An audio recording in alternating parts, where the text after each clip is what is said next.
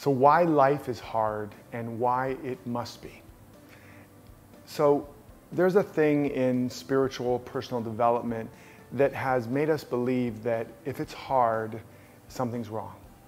And I've talked about this in other videos before, but the biggest problem about that is that it sets you up to actually believe that when it's hard, this is the wrong path, it shouldn't be this way, and it creates a lot more resistance, it creates a lot more anxiety, it creates confusion, and it's one of the biggest things that causes people to quit or that causes people to get caught in the shiny object syndrome where they go looking for the easier path.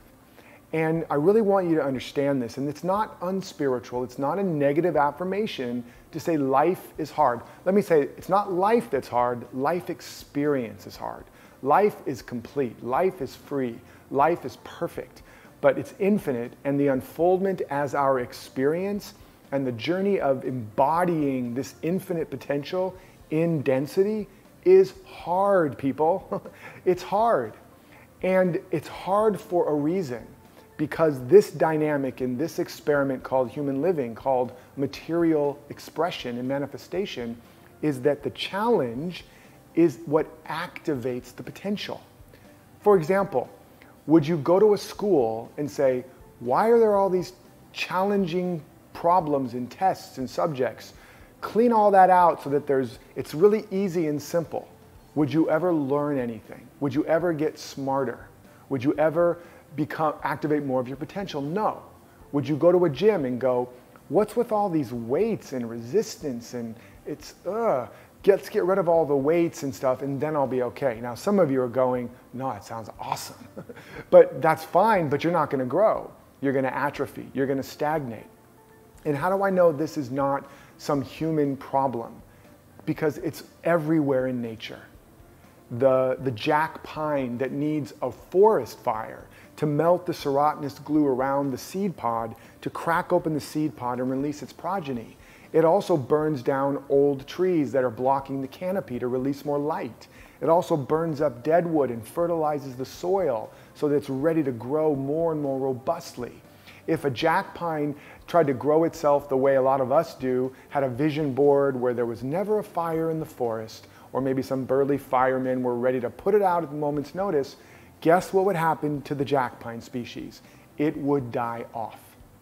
Or I like to joke, you know, if a seed tried to grow the way we want to grow spiritually, it would pray away all the dirt, right? And it'd be like, I'm clean at last, clean at last. And the sun would come out in all of its glory and shine upon this clean seed sitting on a rock and burn it to a crisp. So instead, the seed buries itself in the dirt, it digs through the dirt.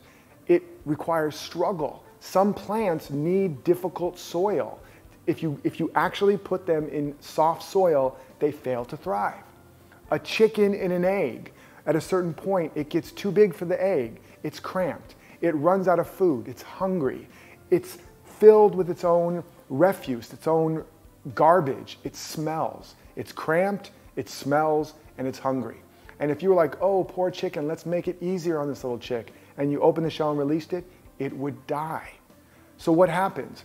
Because of that hard, difficult, challenging situation, it starts looking for every little bit of nourishment. And as a result, it starts pecking. And as a result, it strengthens its lung capacity, its, its wing muscles, its neck muscles, and it cracks open the shell right on time so that it's strong enough to live in a bigger environment. If it was released, it wouldn't have the muscles, it wouldn't have the capacity to thrive in a larger environment because your nature is infinite, you have infinite abundance, infinite power, infinite wisdom, but it's infinite and you're trying to express it in form. The form has to constantly be evolved, constantly be updated, upgraded, up leveled. And so you have to have more strength, more muscles, more capacity so you can carry more and more voltage and wattage and, and, and energy, right? And so that's why it has to constantly break down and reform, break down, reform. It's why chaos theory says that behind every chaotic pattern, there's a larger order always emerging.